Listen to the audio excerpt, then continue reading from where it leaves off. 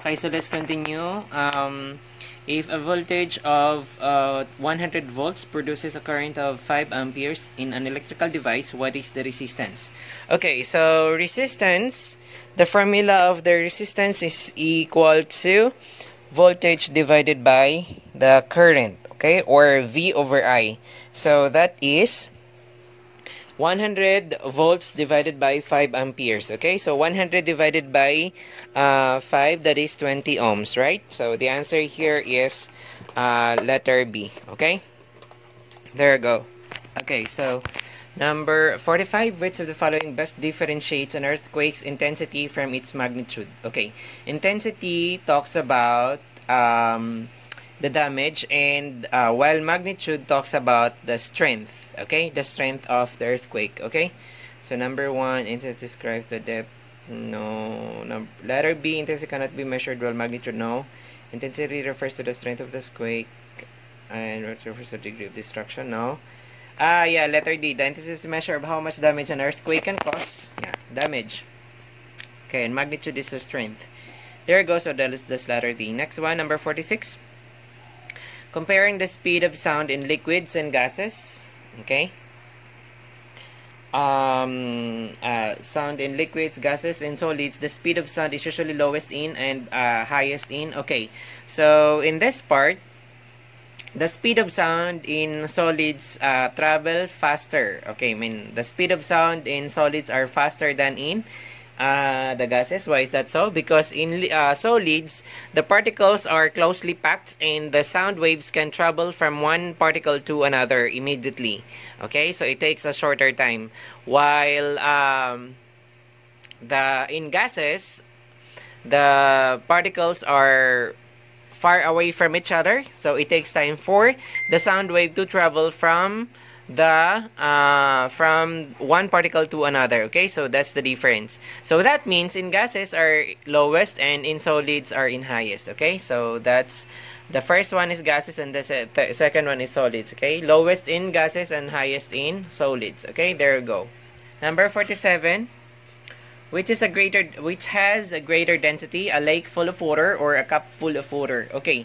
So they're just the same Okay, so they're just the same, the density. It's just the same as asking question like which is uh, heavier, a kilo of sugar or a kilo of nail.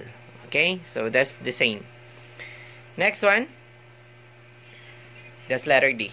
Next one, a stainless steel spoon feels colder than plastic spoon because stainless steel absorbs less heat this than particle plastic does. It's really colder than plastic and has lower temperature than plastic and conducts heat away from the okay so that's letter D. Why? Um, because uh, steel are good conductors of heat and electricity while plastics are insulators or non not good or poor conductors of electricity and heat. So that means why is it colder to uh, when you hold both plastic and uh, stainless uh, spoons why is it called? Uh, why is it that the stainless spoon is colder? It's because it takes uh, heat from your hand. It takes uh, what's this? It immediately takes heat from your hand. That's why it feels cold. Okay, it's an exothermic uh, exothermic phenomenon where the heat leaves from your hand and goes out to be absorbed by the steel. It's just the same as like putting alcohol on your hand. It's also another example of exothermic reaction where the heat is removed from your hands. Okay? There you go. So, that's letter D. Remember, plastics are insulators and uh, steel are conductors. Next, why is it not advisable to repeatedly open the door of a refrigerator? Why is that so? Because um, it does not actually damage the, what's this?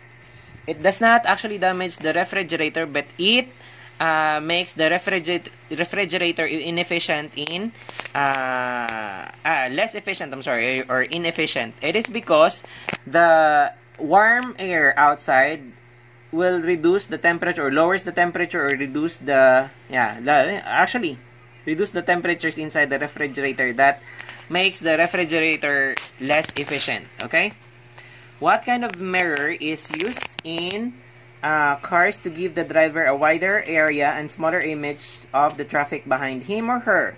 Okay. So, is it double concave, uh, double concave, convex, plane, or concave? Okay, so it's convex. Why? Convex lens uh, turns large images into smaller image. Okay? While concave um, uh, lenses or mirrors uh, change the image from small to big. Okay? Small, smaller to bigger. I'm sorry. That's uh, the explanation there. So it's convex mirror. Okay, next one. Why do we hear thunder? Uh, thunder some seconds after seeing lightning. Okay, the reason there is that light travels faster than the sound. Or light waves travels faster than the sound waves. Okay, always remember that. So that's why when someone uh, shot a person like kilometers away from you, you will uh, see the light first before hearing uh, before you hear the sound okay so that's the reason why because light waves fa uh, travels faster than the uh, sound wave next one yeah it's letter B. Next one 52 water is higher has a higher specific heat than iron. What does this mean?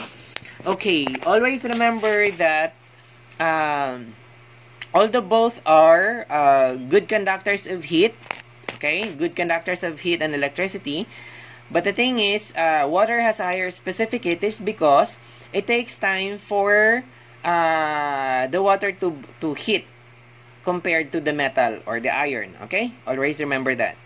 So water heats more slowly than iron. So that's letter D okay? Remember that always.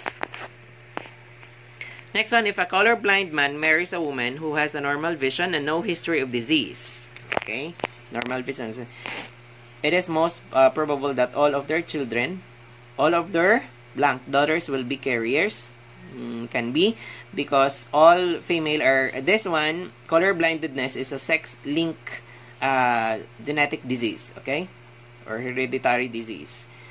Now, letter B, daughters will be colorblind. No, uh, they're just carriers son will be carriers. No, that that uh, the sons will not be carriers because the mother is normal. Okay, not all will be carriers. I mean, not all, and they cannot be carriers. They they can be normal or colorblind only.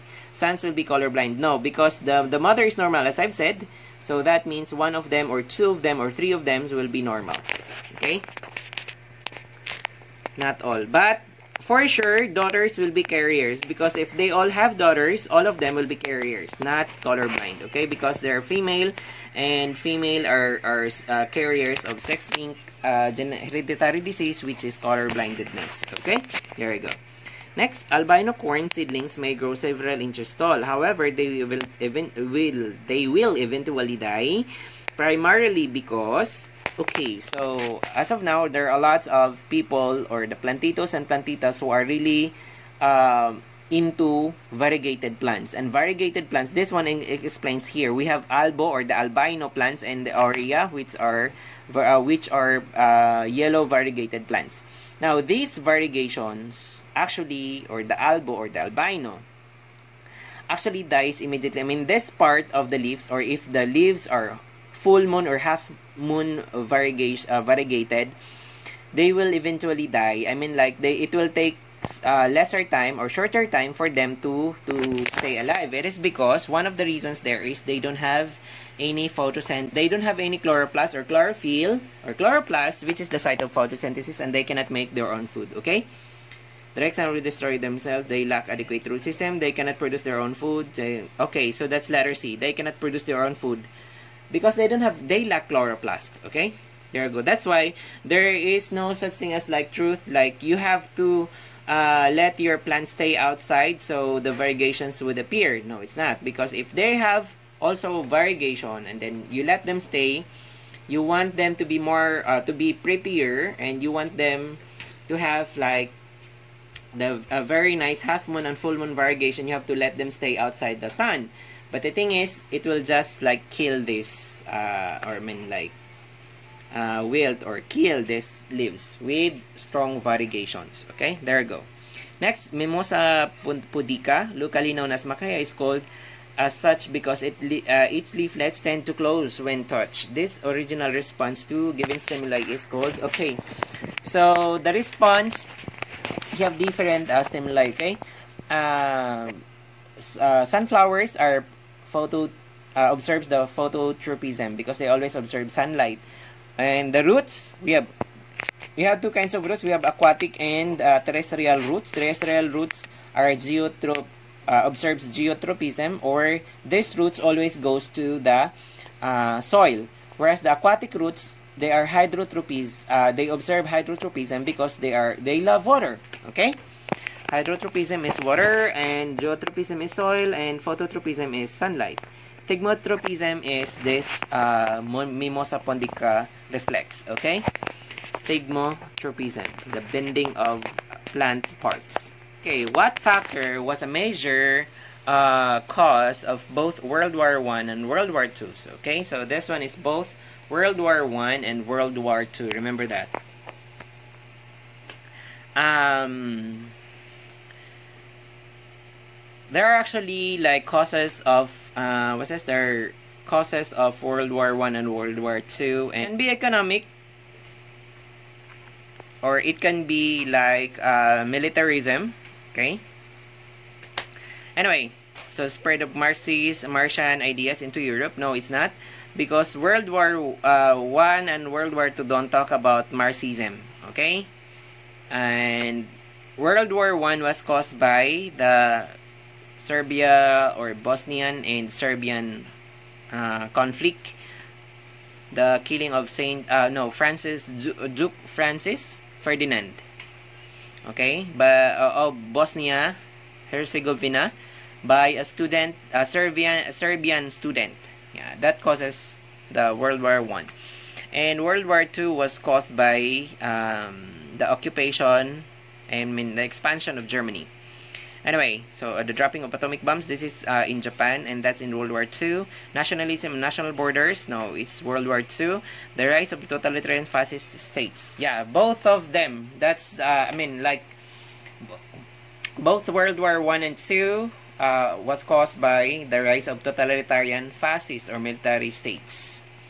Next one, units organization in the Philippines, a member to fight communist aggression. Okay, so this organization actually was created to fight communism in Southeast Asia. Okay, Southeast Asia. And it failed, I think, on the countries like Vietnam and Laos.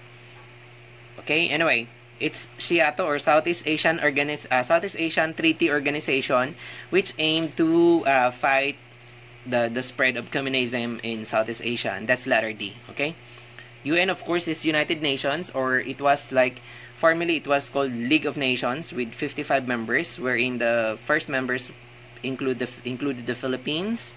APEC is Asia Pacific Economic Cooperation. This is just purely economic. Okay, there you go. Next one, the theory that population increases by geometrical uh, ratio while the means of subsistence increases by arithmetical ratio is attributed to its Malthusian theory.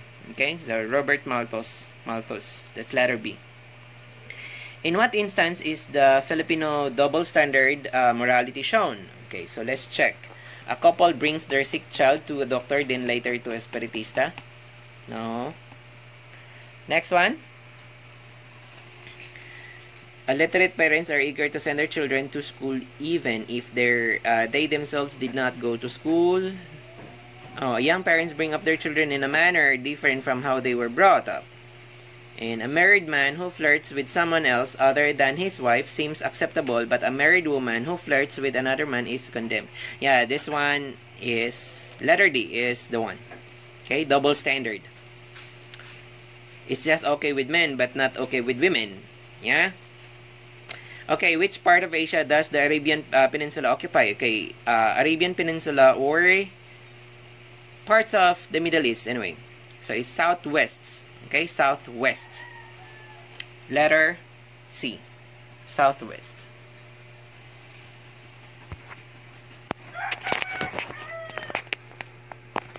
The important factors have uh, which have contributed to contributed to the weakness in the internalization of desirable values is they okay usually values are transferred depending on those role models we have okay like parents and teachers lack of models among the very uh, people expected to exemplify these values. Yes, there you go.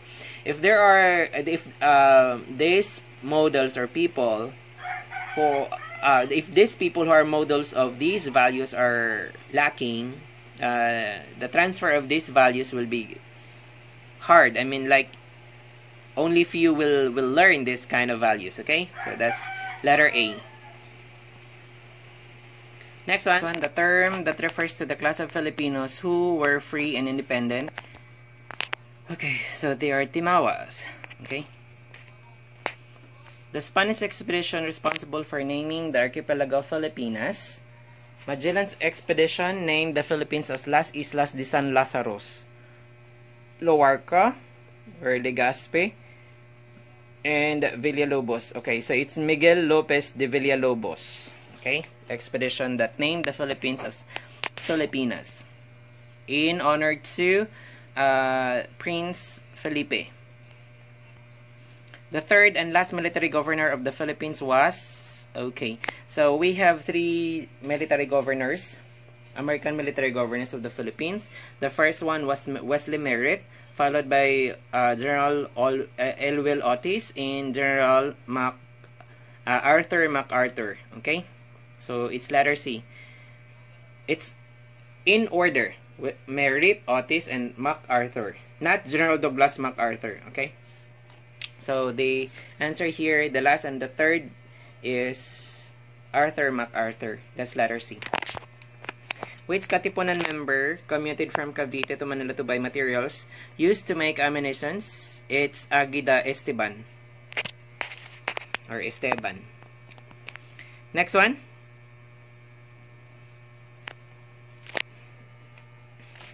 Which economic system is based on free enterprise? This is free market economy, so that's capitalism, okay? Capitalism, free market, uh, free enterprise. That's letter C. How is the so-called colonial mentality manifested? Cultural relativism, cultural diversity, xenocentrism, ethnocentrism. Ethnocentrism is love of one's culture. Xenocentrism is love of other people's culture. So that's colonial mentality. Okay? Xenocentrism that's manifested in xenocentrism, the colonial mentality. That's letter C. Next one, which is a safeguard against unfair trade practices. Unfair trade practices, of course, is consumer vigilance. Letter C.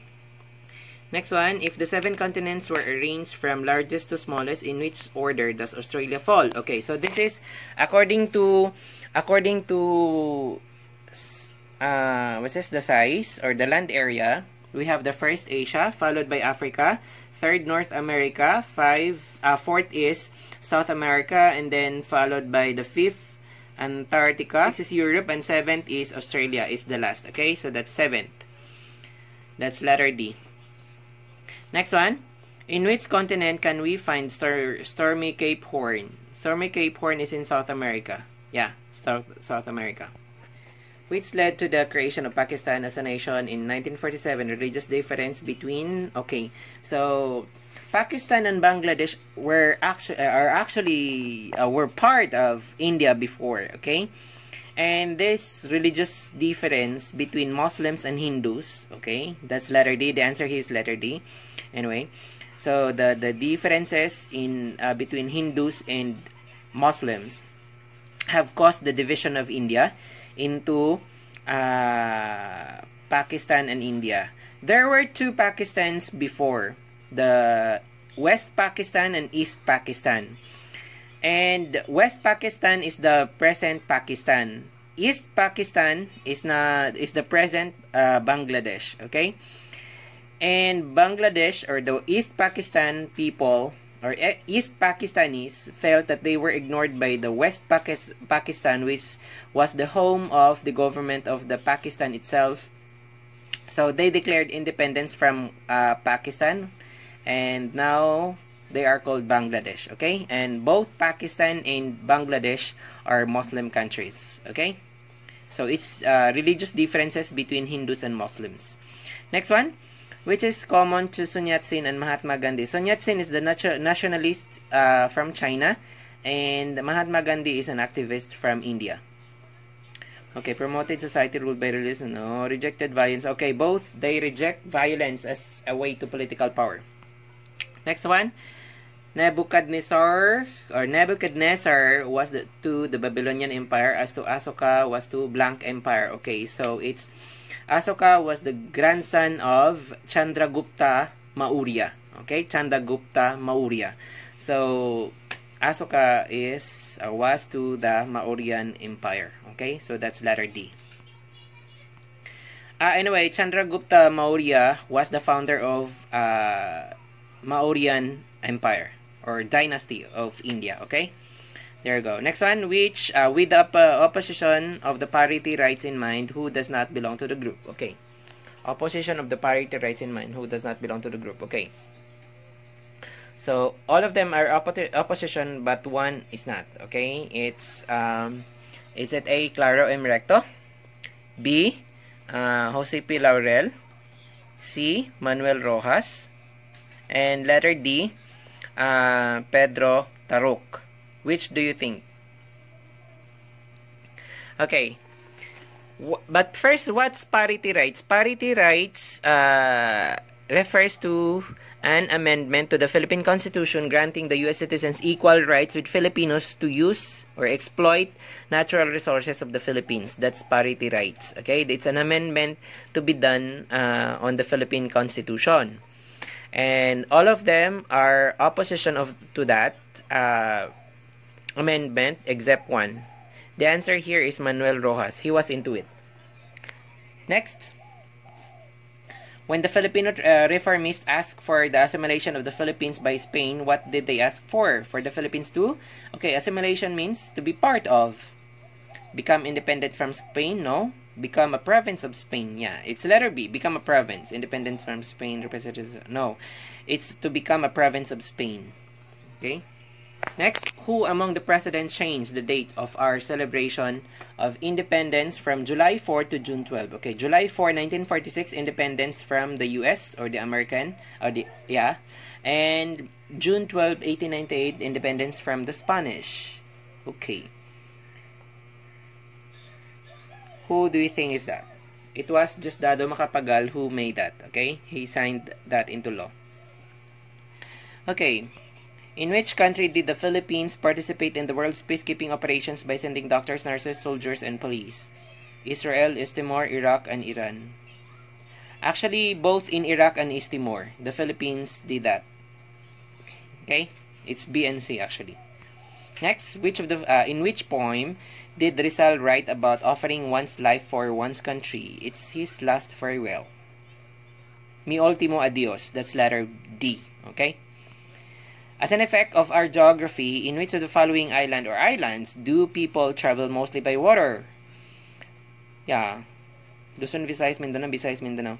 Mindanao and Luzon are mostly uh, vast uh, tract of land where as Visayas is composed of different uh, a lot of islands. So mostly, of course, it's Visayas. People travel by uh, water. It's Visayas because it's made up of islands. Mindanao and Luzon are are not that much into islands. Okay.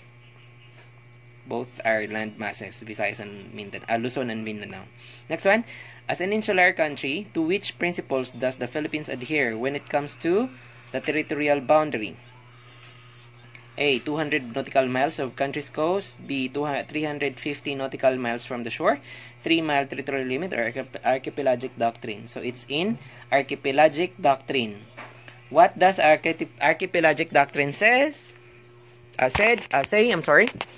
An archipelago shall be regarded as a single unit so that the waters around, between, and connecting the islands, regardless of their breadth and dimensions, form part of the internal waters of the state and are subject to its ex exclusive sovereignty. Okay, so that's uh, archipelagic doctrine. That's where we base our territorial uh, territory, uh, defining our territory or territorial boundary. Okay.